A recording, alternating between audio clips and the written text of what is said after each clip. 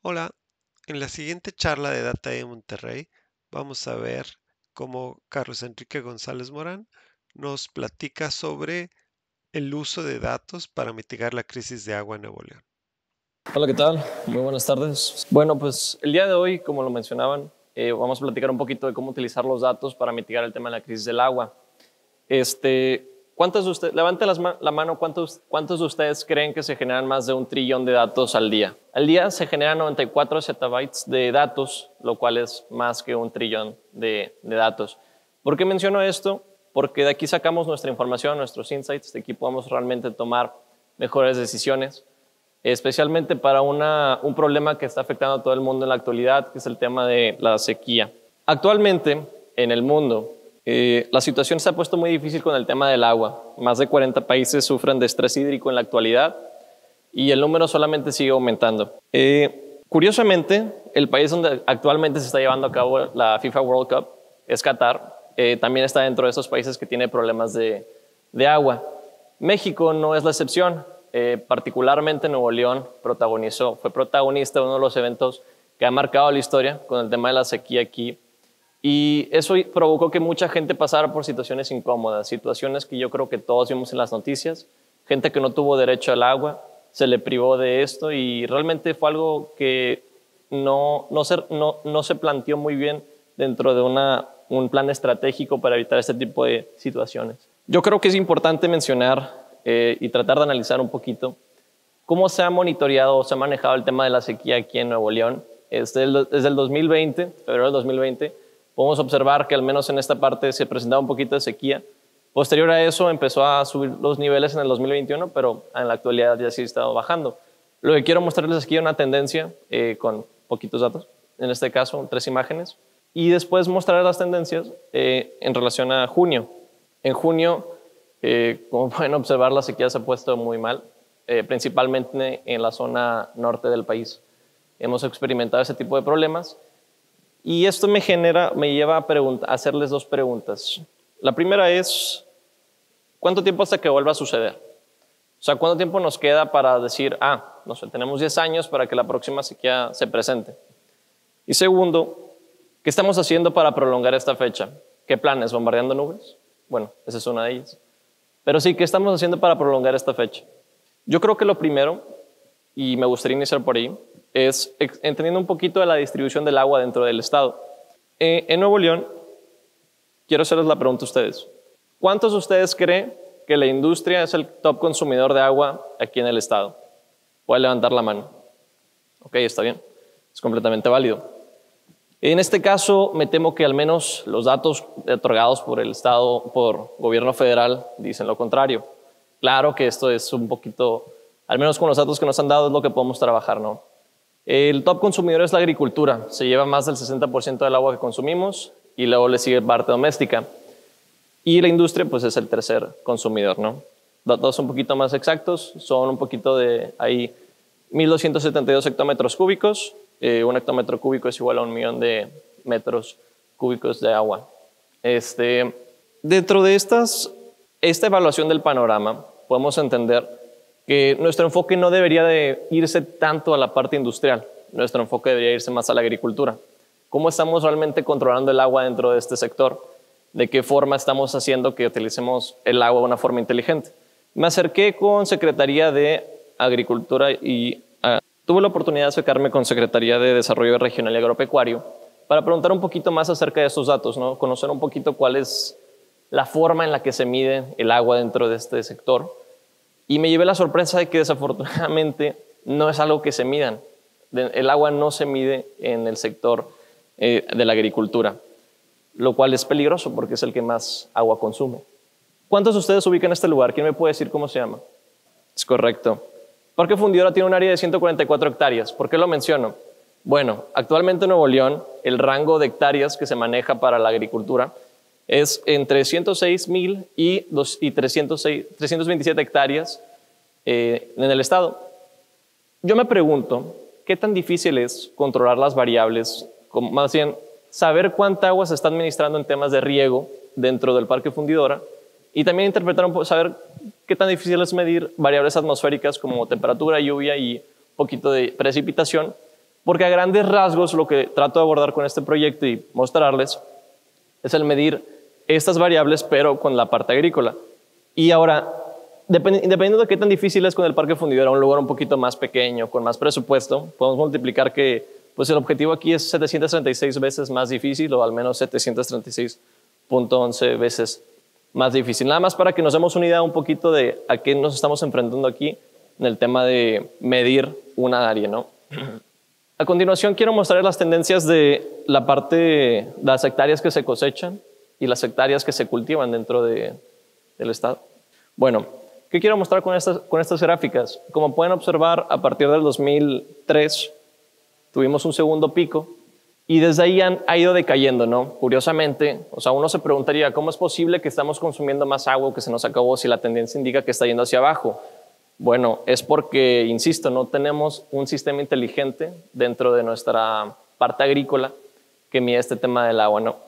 Es importante mencionar que a pesar de que las tendencias van a la baja en los últimos cinco años, no voy a, no voy a meterme en detalle en el 2020 y 2021 porque todos sabemos qué es lo que pasó en, ese, en esa época, pero sí quiero, sí quiero que recuerden un poquito esa ese gran gap entre las hectáreas que se plantaron, lo, lo, que se cosechó, ¿no? o sea, la gran diferencia. Porque más adelante voy a mostrar un poquito de cómo, a pesar de la gran diferencia de lo cosechado, se obtuvieron utilidades económicas similares. Esas son las toneladas que se produjeron eh, en el 2010, bueno, a lo largo de la historia que tenemos actualmente es de 42 años.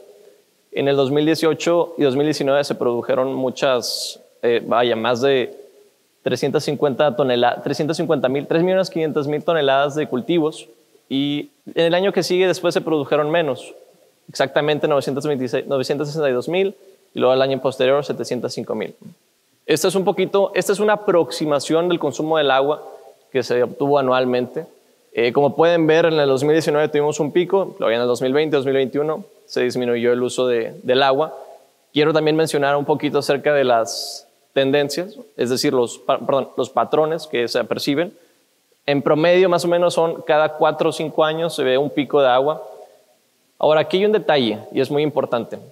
Para nosotros abordar esta problemática realmente y solucionarla de, de raíz, es, hay, que responder la pregunta de cuál es el rango de agua que utiliza, digamos, una tonelada de cierto cultivo o una hectárea de cierto cultivo. Y esa información desafortunadamente no la tenemos, o al menos no me he encontrado con el grupo adecuado que la, que la tenga. Y no veo que se esté trabajando como tal. Esta información me acerqué con eh, la Facultad de Agronomía de la Universidad Autónoma de Nuevo León.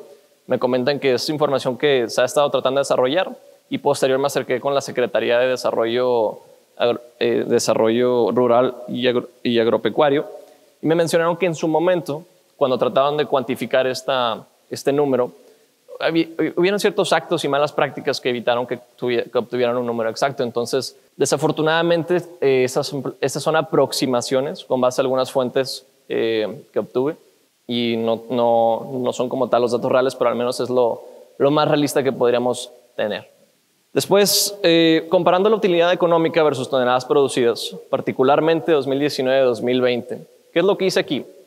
En una escala del 1 al 42, de 1 al 42 porque son unidades distintas. Quería medir, ok, ¿cuánta, ¿cuántas toneladas? ¿Cuál fue el año que tuvo menos toneladas? Es decir, el año, eh, lo que sería como el número 1, en el 2021. En el 2021 se obtuvieron, fue el año que tuvo menos toneladas producidas. Sin embargo, eh, como pueden ver, el 35 fue el 35 lugar, o sea, estaba de los más altos de utilidad económica producida. Particularmente 2019, que fue el año que más uno de los años que más ah, toneladas se produjeron, también tuvo una gran utilidad económica. Pero aquí va lo interesante. Lo interesante es que en el 2020 fue el quinto lugar dentro de los más bajos de toneladas producidas y aún así estuvo muy cerca de producir una utilidad económica similar al del año anterior. ¿Qué tan cerca exactamente? Exactamente se produjeron 671 mil pesos mexicanos menos en utilidad económica, lo cual, personal, eh, lo cual pues es significativo, ya que estamos hablando de 2 millones de toneladas menos que se produjeron ese, ese año. Y en temas de agua, también, como se puede observar, pues fue de los años que menos agua consumo. ¿Cuál es mi punto? Mi punto es, podemos obtener la misma utilidad económica utilizando eh, menor cantidad de agua, o al menos los datos lo muestran. Aquí también traté de buscar un patrón entre la cantidad de toneladas que se producían y el agua que se utilizaba. Y como se puede observar, mi punto se mantiene firme.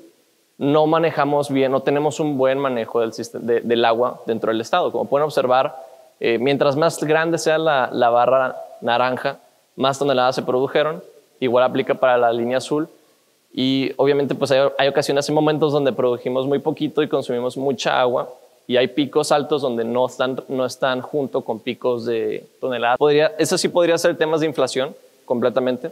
Es una variable que es importante considerar.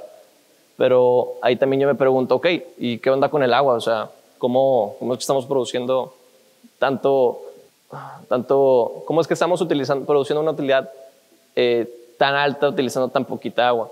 Claro que sí podría estar completamente ligado al tema del precio, ¿no? pero al menos este, nuevamente se, se pueden apreciar los picos del agua, del consumo del agua, que no son, no, no son uniformes, de hecho, o sea, sí son cíclicos, mas no son, no, no son un incremento significativo hasta el 2019, y pues fue cuando se utilizó más. Como les mencionaba antes, pues la realidad de las limitaciones dentro de este sector es que no se mide el agua, no tienen equipos de medición de dicho, no, se, no tienen una base de datos en la que se vaya esta, información no existe como tal una red conjunta. Existen redes de distrito de riego, sí, pero no hay como que una base de datos que diga, ah, mira, en tal periodo eh, se capturaron estos datos de la temperatura, de la precipitación. No existe nada de eso, no, no hay nada, no, lo están cuantificando como tal.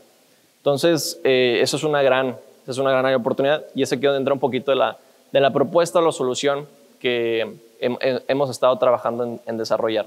Eh, dado que no se está midiendo, que no se cuantifican este tipo de, situaciones, creemos que la solución más correcta es crear un sistema que permita conectar, que primero permita medir las diferentes variables eh, dentro del sector agricultor, como lo son temperatura, humedad, precipitación, este, y claro, no sacrificar, eh, no sacrificar la cosecha. O sea, al final del día se trata de utilizar, tratar de encontrar la forma de utilizar menos agua pero conseguir los mismos resultados. Entonces, más o menos lo que queremos hacer es medir, optimizar, comparar y al final predecir. ¿Por qué predecir? Ok, si tú sabes que, que tienes época, comúnmente aquí en Nuevo León nosotros sabemos que en septiembre llueve, ¿no? Es lo que nosotros sabemos porque desde pequeños hemos visto que en septiembre la tendencia de la lluvia eh, es mayor. Entonces, tratemos de pasar ese tipo de, de memoria o ese tipo de forma de pensar hacia una especie de sistema que lo permita registrar histórico y trabaje con la información, pero más enfocado hacia la agricultura, para que le pueda dar una decisión, le pueda ayudar a la toma de decisiones de los agricultores a decir, ah, bueno, según las tendencias, podemos ver que para este año, según el agua que se tiene estimado, por, eh, vaya, que vaya a caer del cielo, ¿no? En precipitación, eh, las tendencias nos permita, no sé, plantar maíz según lo, la, la poca o mucha agua que tenemos. Eh, como parte principal es entender los datos. para iniciar con el tema del sistema, primero hay que entender datos como lo son, eh, qué cultivos se plantan. ¿Por qué? Al tú descubrir qué cultivos plantas, sabes cuánta agua va a utilizar cada cultivo. Entonces puedes tener un antes y un, o sea, puedes tener una comparación entre cuánta agua debería de utilizarse teóricamente el cultivo y cuánta agua se está utilizando. Obviamente, todos sabemos, al menos yo creo que la experiencia nos ha mostrado a todos, que la parte teórica no siempre es realista, o sea, la parte teórica es en un mundo idóneo, pero definitivamente se puede disminuir, definitivamente es una realidad, platicando con agricultores, gente ya expertise en el tema, que a veces la gente comúnmente nada más abre la manguera y le echa chorros al agua y a ver a que le caiga. La malgastan, es, es un hecho. Y yo creo que ayudarles es lo mejor que podemos hacer para tratar de garantizar este recurso. Eh, otros datos que, podemos, que es necesario empezar a medir son con qué frecuencia eh, se planta, o sea, qué que cada cuánto están plantando ciertos cultivos, cuáles son los métodos de riego, cada cuándo los riegan, cuál es la temperatura en esas zonas, histórica, es cosa que no se mide. Aquí en la zona metropolitana hay estaciones de monitoreo de la calidad del aire. No sé si sabían ustedes, pero sí existen y lo monitorean cada hora. Sería idóneo que estas, estas estaciones de monitoreo existieran en estas zonas para entender el comportamiento de eh, un poquito más del ambiente y saber por qué se ocupa tanta agua y si realmente se ocupa tanta agua. Eh, también medir cada cuánto llueve, eh, qué patrones hay en los tiempos de lluvia, cómo podemos aprovechar las imágenes satelitales, es decir, platicando con esta secretaría, otra realidad con la que me topé es que no hay, hay ocasiones en que las personas comentan, dan un número de hectáreas que se plantaron, pero las imágenes satelitales dan otra, dan, dicen otra cosa.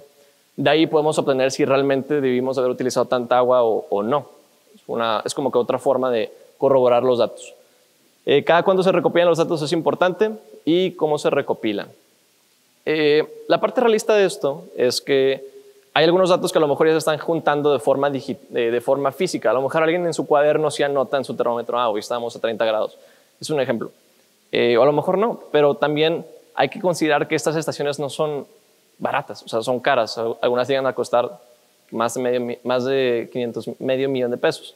Entonces, esa parte realista es importante considerar para la ejecución de un proyecto de, esta magnitud. Eh, principalmente, sí, queremos medir cómo se usa el agua, ya que al cuantificar cuánta agua se está utilizando actualmente y compararla contra cuánta agua deberíamos de usar, dependiendo de cuánto ya se haya sembrado el tipo de cultivo, o sea, variables importantes que influyen, podemos tratar de llegar a un acuerdo para que, en caso de que el sembradío utilice más agua de la que necesite, disminuir esta cantidad sin sacrificar perder la cosecha. O sea, la cosecha va siempre al 100, ¿no? A lo que nosotros siempre apuntamos es mantener esa cosecha viva, sin desaprovechar el recurso hídrico. Aquí es donde entra un poquito el tema de eh, ingeniería de datos. ¿Por qué? Hasta ahorita lo que he mencionado es el pre, o sea, es lo, que, es lo que es y es lo que se quiere hacer. Pero ya ahora sí, de cierta forma, manos a la obra, eh, tú, recibes los datos de diferentes fuentes, llámese sistemas de IoT, de bases de datos, de la nube, de imágenes satelitales. Y después, ¿qué pasa con esos datos? ¿Qué haces? No? Esos datos pues los tienes que agarrar y transformar a través de diferentes software como Kafka o uh, Spark. Son algunas opciones que, me han recomendado algunos compañeros y que he utilizado en su, en su momento. Y después eh, tienes que pasarlos por lo que viene siendo el Data Warehouse o el almacén de datos y los Data Lakes.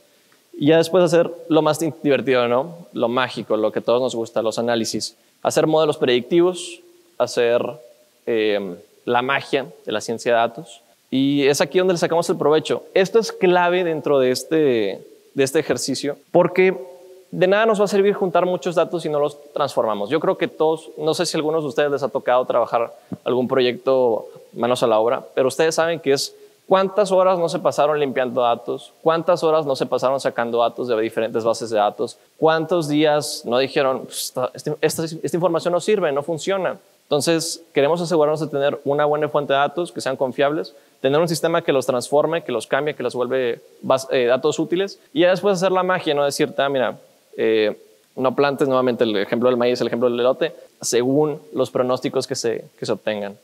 Este nada más es un ejemplo visual, de cómo integrar, o bueno, cómo funcionaría em, tema de un data pipeline, eh, tubería de datos.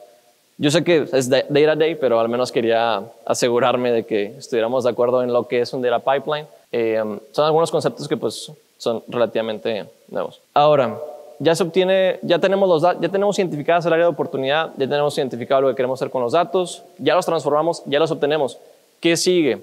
El último paso es ya el tema de el, ciencia de datos. ¿no? Eso es hice un ejercicio muy sencillo, básicamente hice una predicción de la demanda para uso doméstico, esto con eh, la población, utilizando variables como nacimientos, eh, mortalidad, migración, se intentó, pero nuevamente, la realidad detrás de los datos es que cuando tú tratas de poner una variable en tu ecuación, si no hay suficientes datos, pues lo vas a tener que descartar. Y tú tienes que descartar migración y pues esto fue los resultados que obtuve. Esto nada más trato de mostrar aquí que realmente en un futuro no muy lejano no vamos a tener un consumo tan alto de agua por el lado doméstico, que son eh, pues 403 hectómetros cúbicos, recordando que el consumo de la parte de la agricultura son de 1200 hectómetros cúbicos. Aquí pues mi porcentaje de error es del 2.84% y pues ya la precisión es del, del 97% de mi pequeño ejercicio.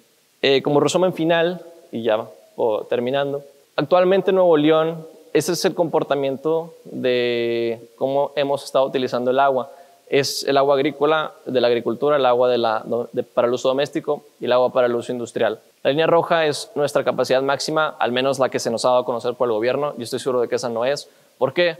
Porque teóricamente hablando, hay secciones, como pueden ver en el 2017, 2018 y 2019, que se exceden, ¿Qué sucede ahí? Sucede que, como sabrán, hay ciertas eh, acuíferos o cuencas que no están registradas ante el gobierno y por ende explican por qué se obtienen estas cantidades. Pero básicamente una predicción del 2032, ¿cuánto, ¿cuánto esperaríamos estar consumiendo? Pues es cerca de los más de 1.500 hectómetros cúbicos, muy cerca de nuestro eh, límite por parte del gobierno federal. El límite que les mostré al inicio, o sea, este límite de 2.006 hectómetros cúbicos es un hecho, o sea, lo pueden checar con agua. Eso es lo que se nos, Nuevo León tiene permitido para usar en total. Y pues al menos de lo que pude investigar, ese es el límite físico que tiene Nuevo León para almacenar agua. En promedio, en los últimos 10 años hemos estado pues, al 70.55% de nuestra capacidad total y pues claro, la, tendencia va hacia la baja, ¿no? Digo, 2021 estuvo muy bajo y 2022 no, aún no está cuantificado. Ya pues para terminar, quiero terminar con la frase de los datos nos dan una visión, pero nosotros debemos tomar acción. Y lo que significa esta frase es Sí, podemos tener una buena imagen, podemos saber oh, lo que está sucediendo en nuestro entorno, entender lo que está pasando, saber qué lo causa, pero si no tomamos acción al respecto, nada va a cambiar. Entonces, este, es también está dentro de, de nosotros el tomar acción y estoy de acuerdo en que requieren muchos esfuerzos, muchas conexiones, se requiere de grandes sacrificios y sin duda nuestro recurso más importante se requiere de tiempo. Eh, quiero dar agradecimiento a DataDape y a Software Group por todo lo que hicieron, por la invitación ha sido un gran evento. Y bueno, a la, organización de YAICA y Asemeja, eh, particularmente YAICA, es la organización que eh, fundó el proyecto que, se que les mostré, al menos el estudio que se llevó a cabo. Y si alguno de ustedes les interesa participar en este tipo de proyectos o becas, ofrecen becas, pueden hacerlo, no tiene ningún costo, es totalmente gratuito. Y bueno, muchísimas gracias por su tiempo.